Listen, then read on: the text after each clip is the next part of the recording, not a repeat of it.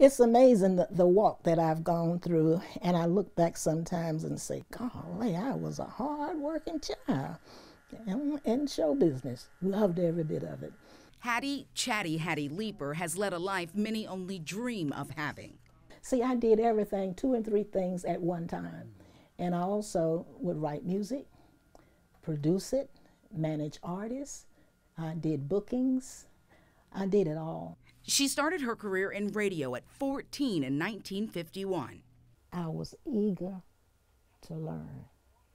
The young girl with the velvety voice. When they started seeing me come out after I became, you know, about 17, 18, uh, they say, Lord, I'm going to tell you something, girl. Say, I thought you were white.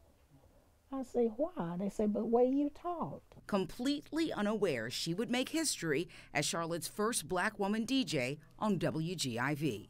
I had no idea that the road I was traveling and the bridge I was bringing people across, I didn't have a clue that that was going to stick and that it would ever become, you know, history. My family always say, "Oh, you got to teach school."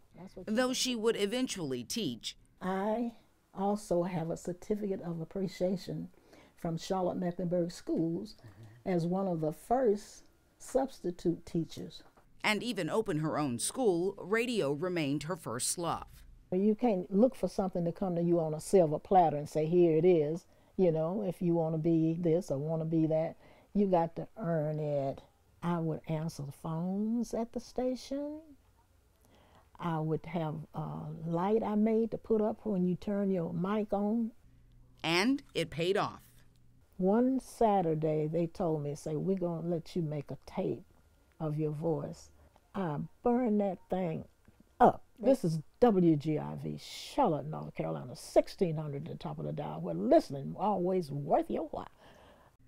From then on, the Trailblazer knew no limits. I would go to um, New York, to Broadway, to a lot of the uh, sessions on Benny King, Aretha, um, I would go to Detroit, Marvin Gaye, Mary Wells. I would go to New York when they were going to record Patti LaBelle. But back home in the South, the harsh reminders of racism remained.